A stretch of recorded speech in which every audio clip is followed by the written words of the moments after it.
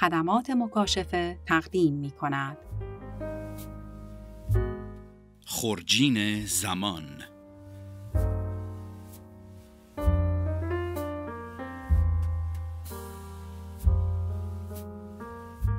جایی نرید چون می‌خوام در مورد فیض و لطف خدا نسبت به خودمون صحبت کنیم اونم فقط در چند دقیقه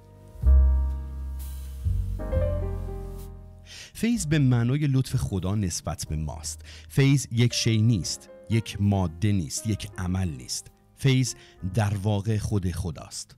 فیض نشون دهنده چند تا موضوعه.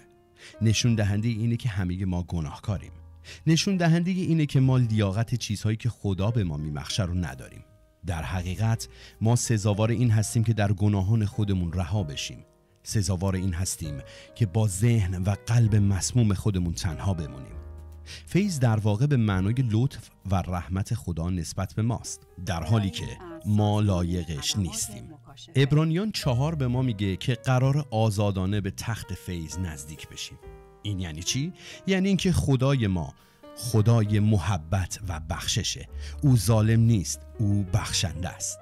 پس به بیان ساده فیض به معنای دریافت چیزیه که ما لیاقتش رو نداریم. چون در ابتدا خدا ما رو محبت کرد.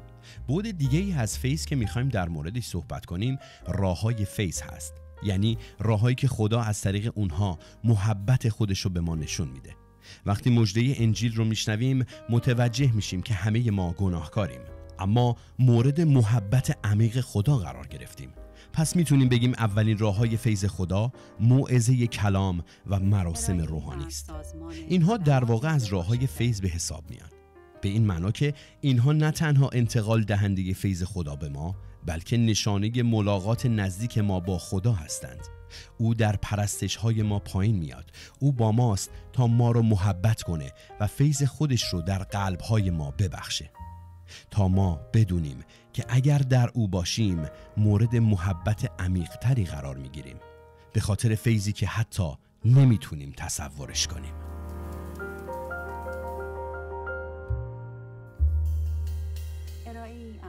سازمان خدمات مکاشفه.